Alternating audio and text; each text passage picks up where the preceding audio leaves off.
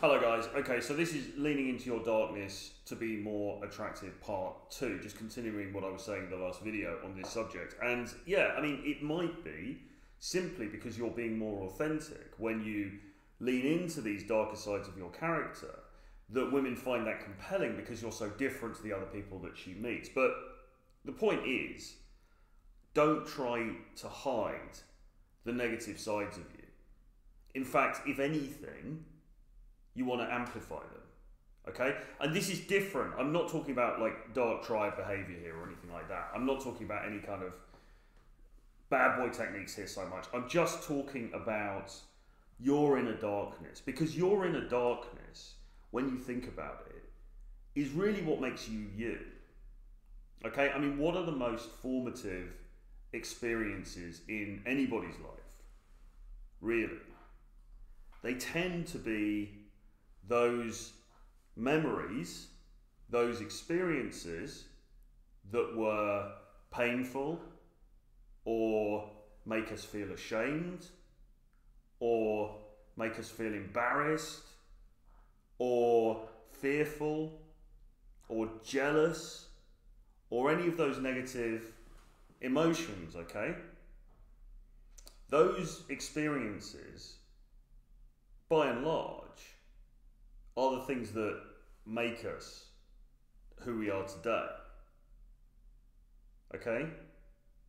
So it makes sense to not shy away from that side of things. Now, the caveat, of course, is that you also, as always, need to have been working on yourself. Okay, you need to have been improving yourself in all the areas that you can improve and try to continue with that on a daily basis, you know, and we've all got work to do in those different areas, absolutely myself included. So you want to be working on that stuff, okay? But you don't, you, you want to show yourself as a three dimensional person who doesn't shy away from these more negative aspects, and in fact, who is, is so comfortable with himself that he is able to to put them out there or to allow them to emanate from him when he's on the date or when he's in the interaction. Okay? And it can come through in subtle ways. It's not necessarily about what you say, it's about how you look, it's about how you look at her, rather, um, your eye contact, your intensity, the way that you talk, the timbre of your voice, and so on and so forth. Okay? You want to show that you're a serious three dimensional person. A lot of the guys that I coach, when they come to me, they are very, very nice guys and often extremely competent and sometimes wealthy, successful, all of those great things. But somehow they're lacking edge. And this is why myself and Tusk did that course last year called The Edge because we were trying to teach this stuff and we'll open that course again at some point. But the point is, they lack the rough edge. And I don't believe it's because they don't have a, a, rough edge. I think it's just that they're not comfortable with showing it to the world. You know, they're not comfortable with the fact that they have demons. Maybe, maybe they haven't even admitted to themselves that they have demons, or they haven't been able to face those demons, and so they try to conceal it. Okay? One of the most charismatic people I know is a very, very rich guy who I know in London from a very wealthy background. And he's decent looking, but he's not a supermodel, male model by any means. Decent looking guy though, whatever. But he has this thing about him. And he's somebody who had a very troubled, although very upper class, but very troubled background, very troubled family life, and then very troubled set of experiences centered around his alcoholism and his using of drugs, and using some pretty serious drugs as well. And on top of that, I think he's also slightly nuts in different ways. Whatever, you know. But he's got this thing about him. He's got this intensity about him.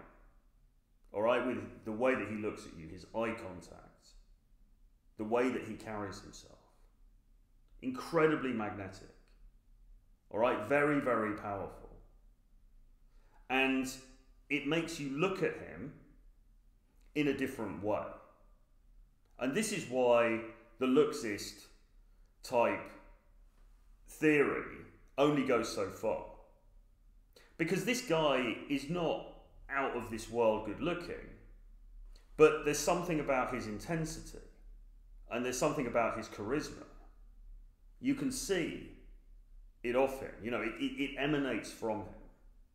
All right? And he's always surrounded by very, very good looking women.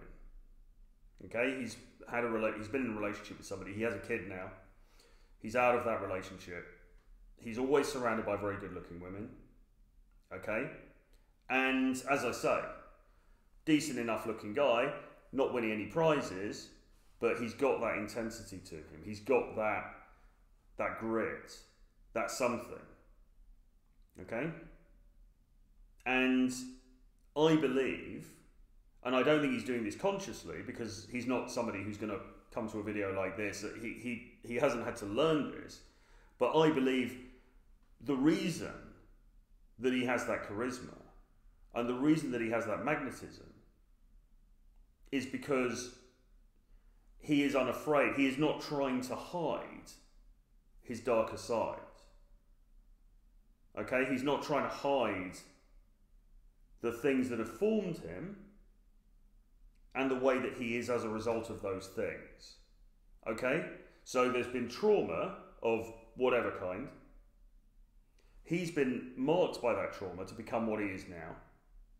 And he doesn't seek to conceal what he's become as a result of that trauma. He just is it. Okay?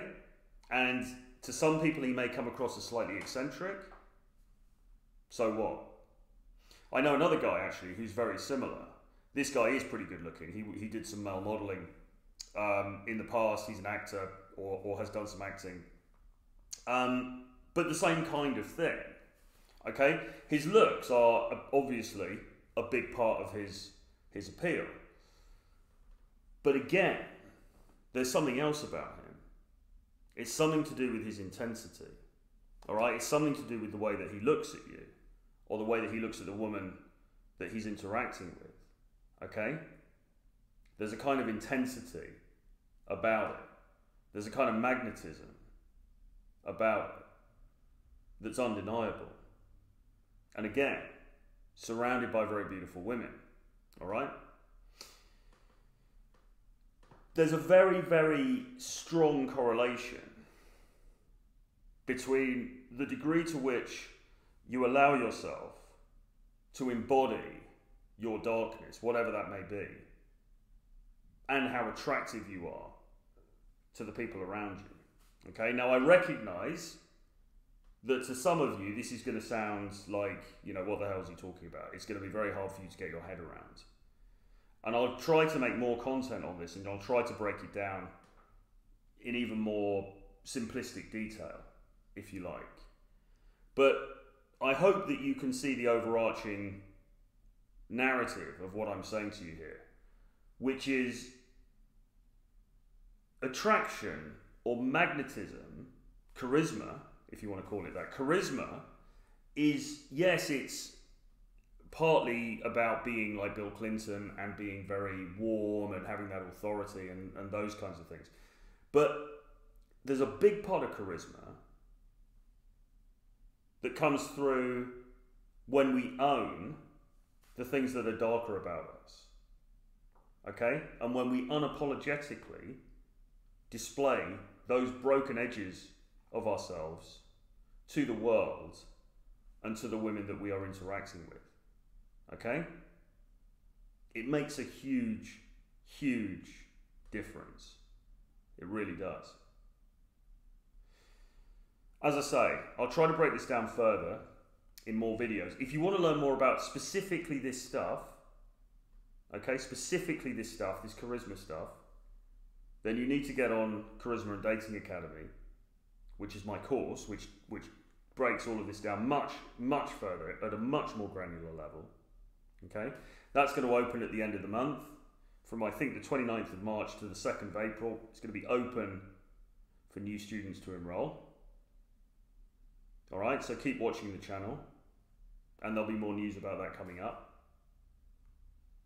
But for now, recognize that the things that have made you broken, the things that you try to shy away from because they're too painful, or you think that they make you not socially acceptable in some way, or you think that you have to play this squeaky clean, super nice guy, those are the things, those are the attributes that are going to make you more attractive. And actually draw more people to you in general. Okay? Because when I think about male friends I have, in many cases, it's not the super squeaky clean, you know, got a perfect, amazing 401k, great job, suburbanite kind of people that I'm most drawn to. Although there's nothing wrong with those people. But the people that I'm drawn to tend to have something broken about them. A little bit. Okay? It's not that they're crazy and they're out of control, but there's something that's a little bit broken about them.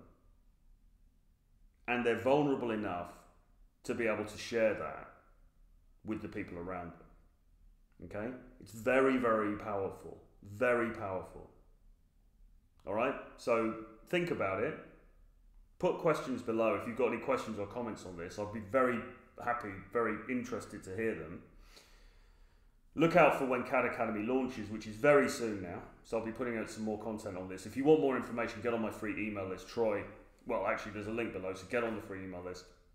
And we'll speak again very soon. In the meantime, do subscribe to the channel, give the video a like, and remember, lean into your darkness. Don't try and hide. Lean into it, okay? It's gonna pay dividends. It really, really is. All right, speak soon.